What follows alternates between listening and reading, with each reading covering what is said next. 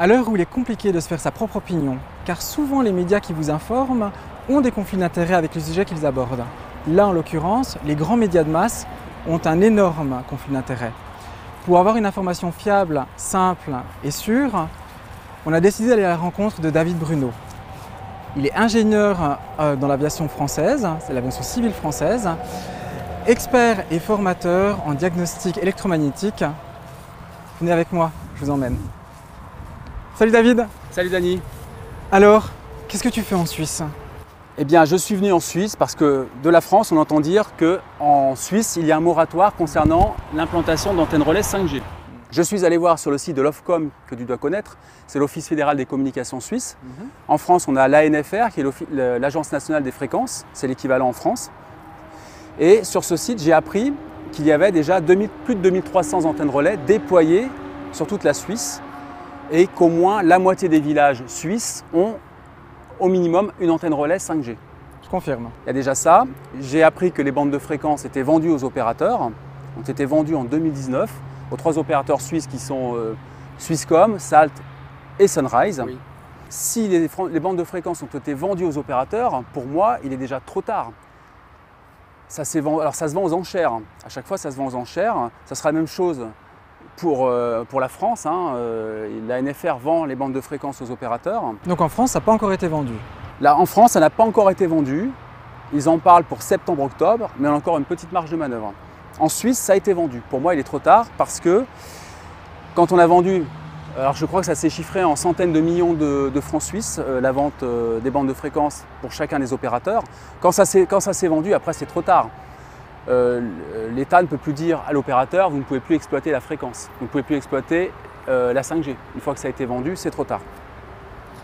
Pour toi, la 5G, c'est quoi? Pourquoi la 5G En tant qu'expert, oui.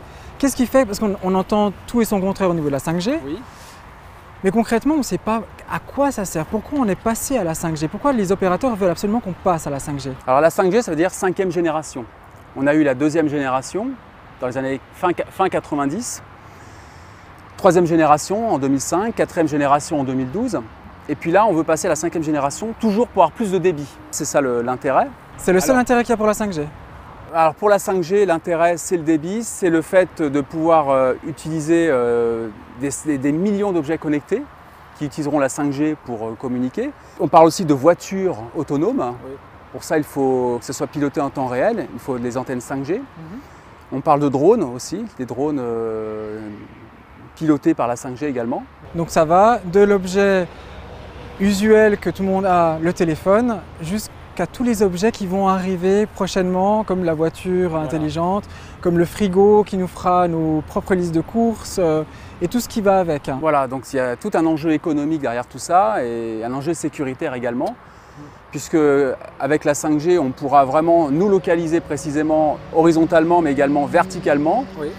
Alors j'ai consacré une vidéo là-dessus que vous pourrez consulter, euh, une vidéo euh, où j'explique comment fonctionne techniquement la 5G. Là, je suis venu simplement pour faire des mesures, pour constater qu'effectivement, on a bien de l'émission euh, d'antennes relais 5G. Mhm. Alors pas partout, toutes les antennes n'émettent pas. Je suis allé sur Nyon, il n'y a pas d'émission, ou très peu, j'ai repéré une antenne qui émettait. Et mhm. par exemple, celle-ci émet en permanence. Ok, parce que c'est vrai qu'au niveau de la Suisse, là actuellement, beaucoup de gens pensent que la 5G n'est pas encore active. Pas sur toutes. Mais en tout cas, euh, alors je ne sais pas si en Suisse il y a des personnes qui ont des téléphones 5G. Je sais que l'opérateur Swisscom ou Salt propose des forfaits 5G. Je ne sais pas euh, ce qu'il en est à l'heure actuelle. Je ne sais pas si tu as des, informations là-dessus. Les téléphones sont déjà en vente. Il y a déjà des personnes qui l'ont acheté. Maintenant, est-ce que c'est actif? Est-ce que ça ne l'est pas? Malheureusement, je ne peux pas te répondre. Voilà. Alors en tout cas, la différence, c'est qu'en France, on a 450 antennes relais actuellement installées. Oui dans 14 villes, mais c'est uniquement pour des tests. D'ailleurs, pourquoi tu es venu en Suisse? Je pense que tu as voulu vérifier, enfin déjà voir comment ça se... Est-ce qu'elles étaient en émission Si oui, à quel degré Mais est-ce que tu t'attendais à avoir peut-être aucune euh, antenne en émission due à ce moratoire Alors je m'attendais à pire. Je m'attendais vraiment à avoir des antennes en émission partout. Parce que je vois sur le site de Swisscom qu'on peut acheter des forfaits 5G, des box 5G. Je me suis dit, c'est déjà parti. Mais finalement, pas tant que ça. Pour le moment, j'ai repéré quelques antennes en émission, très peu finalement sur le nombre. Il y en a une juste derrière. Qu'on va les regarder. D'ailleurs, quelle, mesure tu as eu sur. euh, Alors si je prends cet appareil. Cet appareil donne une mesure globale de rayonnement. Donc là, si j'allume, je vois euh, un niveau d'exposition en volts par mètre. Mais ça ne va pas me dire s'il y a des rayonnements 5G ou pas, parce que ça va prendre vraiment 2, 3, 4G et 5G. Donc je vais constater qu'il y a des ondes venant de la téléphonie mobile, Mhm. qu'il y a- qu'il y a un niveau d'exposition. Et ça ne va pas me dire s'il y a 2, 3, 4G uniquement ou s'il y a 2, 3, 4G et 5G en plus. Si je veux le savoir, je n'ai pas le choix, je suis obligé d'utiliser un, un appareil que j'ai apporté de laboratoire. Ouais. C'est l'appareil qui est utilisé euh, par tous les laboratoires officiels pour faire des mesures, Mhm. pour euh, nous expliquer euh, qu'on est sous la norme officielle. Sauf que la norme officielle n'est pas faite pour nous protéger. Elle est faite pour protéger sur les effets avérés à court terme Mhm. et en aucun cas sur les effets avérés à long terme. Pour les effets avérés à long terme, moi je me base sur la norme bioinitiative, Oui. la norme de biologie de l'habitat allemande. Et aussi, on, entend- on a entendu parler de, euh, de la résolution 1815 du Conseil de l'Europe, le Conseil de l'Europe qui, depuis 2011, préconise 0,2 volts par mètre. Alors je vais, je vais être un petit peu technique. 0,2 volts par mètre pour une exposition permanente aux ondes électromagnétiques. Parce que quand on est riverain d'une antenne relais, on est exposé de manière permanente. C'est Ouais. pas comme quand on téléphone. Quand on téléphone, c'est occasionnel, c'est pas problématique. Mhm. Et tout produit qu'on consomme avec excès est de toute façon, je pense, mauvais pour la santé. C'est pareil pour les ondes. Alors globalement, en Suisse, j'ai toujours remarqué que les antennes relais émettaient moins fortement euh, qu'en France. J'ai formé des gens en diagnostic électromagnétique et j'ai toujours remarqué ceci. Alors je l'explique peut-être euh, parce que déjà il y a moins de densité de population, Mhm. il y a moins besoin d'émettre de puissance. Et après, j'ai pas tous les éléments. Mais en tout cas, en France, les antennes relais, euh, vraiment quand je mesure, elles sont bien plus puissantes que les antennes relais en Suisse. Là, quand je regarde celle-ci, je suis devant, je suis à 1,5 volts par mètre. Bon, le Conseil de l'Europe préconise 0,2 volts par mètre pour une exposition permanente. Mais si je prends une antenne relais lambda en France, à 100 mètres d'une antenne relais, je vais trouver couramment 8 à 9 volts par mètre. En Suisse, on a trois opérateurs. Donc là, on devrait être maximum à 0,6.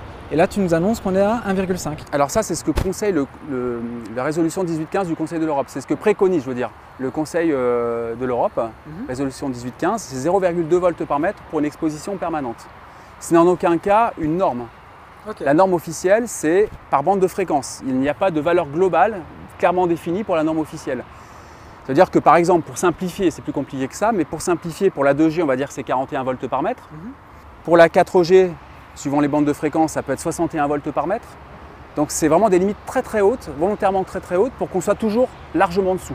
Sauf que quand on regarde le détail de la norme officielle, on voit tout de suite que c'est une norme, il explique d'ailleurs, qui est faite pour protéger sur les effets avérés à court terme et en aucun cas sur le long terme. Ça n'a jamais été expérimenté sur les années. Est-ce que ces, ces normes ont Oui. été calquées sur tous les, euh, les rapports comme euh, bah, Bioinitiative, Comobio, Réflexe Alors ces normes, elles datent de- des années 90. Elles ont été établies par l'industrie du sans-fil et l'industrie de l'énergie à l'époque. Par un comité privé qui s'appelle l'ICNIRP. C'est un acronyme qui signifie, euh, bon, c'est un, un acronyme anglo-saxon qui signifie Comité international de radioprotection, etc. C'est eux à l'époque qui ont établi les normes parce que quand on déploie une technologie, il faut absolument établir des normes pour se couvrir juridiquement. Et là, depuis ce temps-là, donc, ça- elles ont été, euh, ces normes ont été posées dans les années 90. Est-ce qu'elles ont été revues entre-temps? Elles n'ont jamais été revues à la baisse en tout cas, elles ont toujours été revues à la hausse. Par exemple, j'ai vu qu'en mai 2020, ils ont sorti un nouveau, nouvelle norme officielle encore plus élevée et prévue pour la 5G parce que ça concerne les bandes de fréquences au-delà de 2 GHz. Alors, je sais que tu, euh, tu es un, un technicien, que Oui. tu n'es pas dans, dans la médecine, mais j'imagine que tu as dû t'informer sur euh, tout ce qui a été fait euh, comme étude sur ce sujet-là. Et là, avec le recul qu'on a depuis les années 90, qu'est-ce qu'on pourrait penser de ces normes après toutes les études qu'on a vues, euh, l'impact qu'a eu, eu la 3G, la 4G et qui va potentiellement aussi euh, continuer à augmenter au niveau de la 5G, au niveau du corps, de l'impact euh, Qu'est-ce que toi t'en dis de ça? Quand je faisais du diagnostic au tout début, dans 2013, les niveaux d'exposition, euh, quand on était riverain d'une antenne relais, chez, chez un particulier qui était riverain d'une antenne relais, étaient largement inférieurs à aujourd'hui. C'est-à-dire que plus on avance dans le temps et plus la puissance d'émission est importante. Euh, dans les années 90, on avait uniquement la 2G. Quand on était exposé à une antenne relais, c'était négligeable par rapport à aujourd'hui au niveau de, de ce qu'on pouvait mesurer. Et Tu me parles de 2013, c'était il y a 7 ans en arrière, de Oui. 90, on est Alors à- ça a augmenté progressivement parce qu'il y a de plus en plus d'utilisateurs en 4G, donc il y a un rayon- une densité de, de rayonnement de plus en plus élevée, qui est d'ailleurs euh, d'autant plus élevée que dans l'habitat, il y a de plus en plus euh, de box Internet. euh, les box Internet sont de plus en plus puissantes d'ailleurs. Oui. Ça, je l'ai clairement démontré. Il y a de plus en plus d'objets connectés. Il y a de plus en plus de, de technologies sans fil dans l'habitat, sans que ça paraisse. On voit, je, je le constate en diagnostic. On voit de plus en plus de- d'enceintes connectées qui émettent en permanence. hein. Les enceintes connectées, les télévisions connectées, Donc- les imprimantes, enfin tout émet en Wi-Fi en permanence. Est-ce qu'on peut dire aussi qu'un autre objet comme un sèche-cheveux, un micro-ondes ou euh, sont aussi des objets qui génèrent euh, des ondes électromagnétiques Alors le four à micro-ondes génère des ondes de haute fréquence, tout comme le Wi-Fi, ça a la même bande de fréquence que le Wi-Fi, sauf que le four à micro-ondes pour moi n'est pas un problème puisque c'est occasionnel. On va l'utiliser quelques minutes par jour. Mhm. Moi ce qui me pose problème c'est l'exposition permanente. D'accord, ok. Et puis est-ce que ces normes ont été... euh, pourquoi les normes n'ont pas été revues à la baisse alors qu'on sait qu'au niveau des études qui ont été menées justement sur l'impact des euh, ondes électromagnétiques sur le corps, ces études ont montré que c'était délétère. Oui, mais ce n'est pas d'intérêt du- de l'industrie du sans-fil et de l'énergie de, montrer. Surtout, ce qu'ils veulent, c'est tout planquer finalement. Leur, leur stratégie, il y a des études officielles euh, financées par l'industrie du sans-fil et de l'énergie et des études indépendantes financées par des études indépendantes évidemment, enfin des études indépendantes en tout cas. Et la stratégie de l'industrie du sans-fil et de l'énergie, c'est de financer des études biaisées, plus ou moins biaisées, pour contredire les études indépendantes du monde entier. Elles sont toutes unanimes, hein, les études bioinitiatives, etc. euh, sûr. elles sont toutes unanimes sur la nocivité des ondes sur le long terme, quand on est exposé de manière permanente. Donc c'est pas ton domaine, mais on retrouve exactement le même pattern que dans la pharma. Voilà, c'est partout pareil. On finance des études biaisées pour contredire les études indépendantes, pour qu'il n'y ait jamais l'unanimité scientifique. Et donc, du coup, le politique, lui, ne peut pas prendre de décision radicale. Il n'y a pas l'unanimité scientifique, c'est ça que je veux dire. Clair. Conflit d'intérêts. Conflit d'intérêts. Est-ce que dans les médias, ceux qui passent l'information, est-ce qu'on retrouve aussi des conflits d'intérêts? Eh bien, le problème, c'est que les opérateurs, la plupart des opérateurs, possèdent également euh, des médias. On pourra citer Free et Le Monde, par exemple. Est-ce que tu as pu remarquer que Le Monde, donc, où euh, le PDG de Free euh, gère euh, ce journal-là, est-ce qu'ils ont utilisé ce, est-ce que Free a utilisé ce média pour faire passer un message positif au niveau de la 5G On constate sur, YouTube qu'on a des vidéos réalisées par le journal Le Monde, qui nous, alors tournées par des comédiens, ça se voit tout de suite, qui nous montrent les bienfaits de la 5G, euh, que c'est génial, qu'il n'y a pas d'impact sur la santé. On a plein de vidéos qui viennent euh, con- contredire en fait les vidéos indépendantes. Je me suis posé la question euh, de voir, parce qu'on voilà, on essaie toujours de regarder un côté, mais aussi regarder l'autre côté. Et hier, en lisant en fait un texte des lobbyistes du domaine, j'ai pu me rendre compte qu'en fait, ils géraient, leur, euh, ils géraient cela comme une entreprise. Et ils expliquaient, parce que je me posais les questions, hormis l'argent, est-ce qu'il y avait d'autres motivations à ça? Et ce que j'ai pu voir dans, ce, dans ces papiers, c'est qu'ils sont soucieux de ne plus pouvoir fournir euh, assez de données dans les trois prochaines années. C'est pour ça qu'au niveau du moratoire en Suisse, ils sont contre ces moratoires évidemment, et ils demandent expressément à l'arrêt de ces moratoires pour pouvoir déployer toutes les antennes 5G qu'ils souhaitent afin de pouvoir pallier à la demande du peuple. Qu'est-ce que ça te dit à toi quand tu entends ça Alors je me dis, est-ce qu'il y a vraiment une demande? C'est la question qu'on peut se poser. Est-ce qu'on a besoin de cette technologie? Je pense à plein de choses finalement qui font, qui font peur quelque part, euh, qui nous font perdre notre, notre autonomie euh, euh, et qui va, qui va nous exposer en plus au, au rayonnement électromagnétique. Et ils avançaient aussi le fait que les entreprises avaient besoin de continuer à se développer, à, à s'améliorer et aller de plus en plus vers une technologie. Est-ce que tu es, je dirais pas pour ou contre, mais qu'est-ce que tu penses de toutes ces innovations et toute cette technologie toujours plus connectée, vu que toi tu travailles dans les ondes et que tu vois concrètement ce, que c'est ce qui se passe dans, ton, dans ta vie de tous les jours, qu'est-ce que tu arrives à en retirer de ça? Je ne suis pas contre la technologie. À partir du moment où il n'y a pas d'impact sur le corps humain. Euh, par exemple, si j'utilise Internet avec une connexion filaire entre ma box Internet et mon ordinateur, j'accède à Internet sans impact sur la santé. Si j'utilise le Wi-Fi, là j'ai un impact, non seulement au niveau de la, la box qui émet, mais aussi au niveau de l'ordinateur. Donc au niveau de ce développement de la 5G et de, de toutes ces évolutions au niveau de la technologie, est-ce que, c'est, est-ce que ça reste écologique? Donc tu nous as bien expliqué que c'était pas forcément bon au niveau physique, mais au niveau écologique, pollution, est-ce que tu as des infos à nous donner? Alors d'une part, la puissance d'émission des antennes relais 5G sera deux fois supérieure à la puissance d'émission 2, 3, 4G réunis. Mhm. Ça signifie qu'il va falloir deux fois plus d'énergie électrique pour alimenter ces antennes, multiplié par le nombre d'antennes. Donc c'est loin d'être écologique.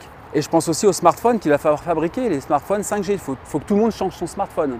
On change les euh, antennes émettrices, mais on est obligé aussi de changer l'appareil récepteur. Les antennes émettrices ne vont pas changer. On aura toujours les antennes 2, 3, 4G, les panneaux qu'on voit, qu'on est habitué à voir. Et en plus, ils vont nous rajouter les panneaux pour les antennes 5G. Ça, ça va se rajouter sur le même mât d'antenne relais en général.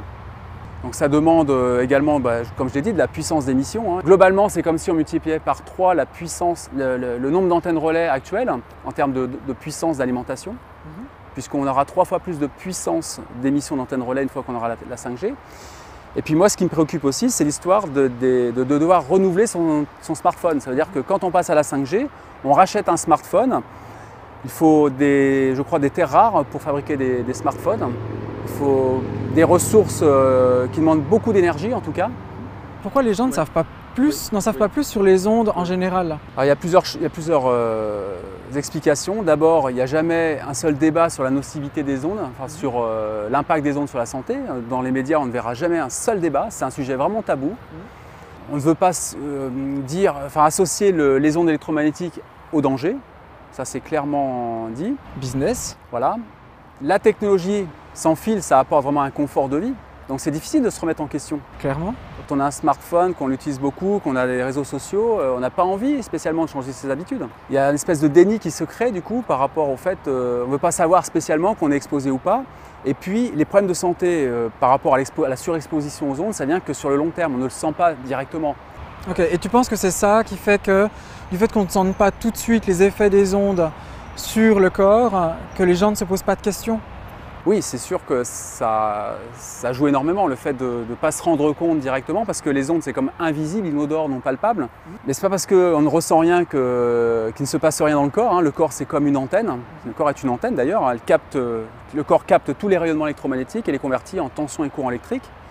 Et les ondes ont un effet sur l'ensemble du système nerveux, sur la mélatonine qui est l'hormone du sommeil, sur l'ensemble des cellules. Chaque cellule, en fait, est une antenne antenne, on appelle ça une antenne fractale, elle capte tous les rayonnements et les convertit en tension et courant électrique.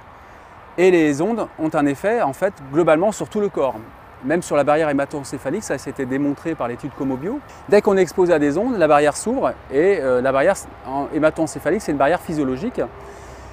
C'est un, un, filtre en fait qui laisse passer le sang mais retient les métaux lourds, tout ce qui est matière indésirable. Et quand on est exposé aux ondes, cette barrière s'ouvre ce qui fait qu'on euh, laisse passer bah, tout, ce qui, tout, ce qui, nous impacte finalement. Hein. Ça favorise du coup les maladies neurodégénératives mhm. comme Alzheimer, Parkinson, sclérose en plaques, etc. En fait, moi je vois la surexposition aux ondes comme un catalyseur de maladie. C'est-à-dire que ça va influencer sur le sommeil, ça va influencer sur les cellules, sur le système immunitaire. Quand tu dis ça, oui. Toi personnellement, et que tu ne l'entends pas dans les médias, ça te fait quoi? Le problème, c'est que démontrer euh, le, lien de cause à effet entre une maladie et la surexposition aux ondes électromagnétiques, c'est très difficile. Parce que les maladies, euh, c'est multifactoriel. Et tu penses que c'est là-dessus que les fournisseurs d'accès reposent tous leurs argumentaires? Je pense que c'est un sujet tabou et qu'il est trop tard pour en parler. On pourra pas dire, on va pas dire du jour au lendemain, euh, c'est dangereux d'habiter sous une ligne à haute tension. Mais on sait très bien, statistiquement, euh, le nombre de leucémies, le nombre de, personnes en mauvaise santé, les, personnes qui sont vraiment en mauvaise santé, qui vivent près des lignes à haute tension, c'est statistiquement, il y a bien plus de, taux de mortalité dû à des cancers euh, par rapport aux riverains des, lignes à haute tension. Donc là, comme tu le dis, en effet, il est peut-être un peu trop tard pour avertir et donner une information anxiogène. Mm. Parce que je pense aussi que le corps s'est habitué d'une certaine façon à ça. Mm. Mais est-ce qu'il y a des façons de s'en protéger? Alors il y a des façons de s'en protéger, tout à fait. Euh, c'est ce que je propose en diagnostic. Après, je ne vends aucune solution de protection. Moi, je suis là uniquement pour euh, apporter ce qu'il y a de meilleur pour réduire au maximum l'exposition permanente des personnes dans l'habitat. Par rapport aux antennes relais, on peut se protéger. Alors moi, je viens de tester euh, l'ensemble des solutions de protection qui existent, les, solutions qu'on peut trouver partout hein, sur Internet, sur le marché. Et euh, face à la 5G, elles sont moins efficaces que face à la 2, 3, 4G. Ça, c'est ce que je viens de constater parce que la 5G, c'est de fréquence supérieure et les ondes passent davantage. Ça, c'est déjà une première mauvaise nouvelle. Bon, globalement, on arrive quand même à protéger euh, des antennes relais, mais c'est de plus en plus difficile parce que la puissance d'émission est de plus en plus importante. Ça devient vraiment très très technique. Et puis, euh, plus il y a de puissance d'émission, alors évidemment, on arrivera à atténuer au maximum de ce qu'on pourra, mais s'il y a trop de puissance à l'extérieur, il va en rester quand même dans l'habitat. Donc ça, devient techniquement très difficile, mais il y a vraiment des solutions pour protéger par exemple du Wi-Fi du voisin. On va mettre des peintures euh, spécifiques sur le mur entre euh, le voisin et la pièce à protéger par exemple. Même chose pour l'antenne relais, on va traiter au niveau du vitrage s'il faut le faire, avec des rideaux anti-ondes. On va traiter au niveau des murs avec des, peintures euh, spécifiques anti-ondes ou des toiles qu'on met dans des, contre-cloisons. Dans les murs, c'est comme un pare-vapeur qu'on va mettre à l'intérieur de la cloison. Et c'est ça qui va faire barrière. Alors pour que ça fasse barrière aux ondes, il n'y a pas 50 solutions. Il faut absolument euh, que la protection euh, contienne du métal. Mhm. Tout ce qui est métallique, tout ce qui est conducteur électriquement, ça permet de faire barrière aux ondes. Alors pour les peintures, c'est différent. Les peintures, c'est du carbone. Le carbone est conducteur électriquement mhm. et fait barrière aux ondes aussi. Et puis dernière chose, les tissus. Les tissus, ça sert pour les rideaux. Quand on doit traiter au niveau de la fenêtre, si la fenêtre laisse passer les ondes, c'est souvent le point faible. Des tissus pour les personnes électro-hypersensibles, par exemple, ou les personnes qui veulent, se protéger à l'extérieur. Et c'est très efficace d'ailleurs. Il y a même déjà des vêtements qui existent avec ça? Tout à fait, on fabrique des vêtements. Il y a des sites spécialisés qui vendent tout ça.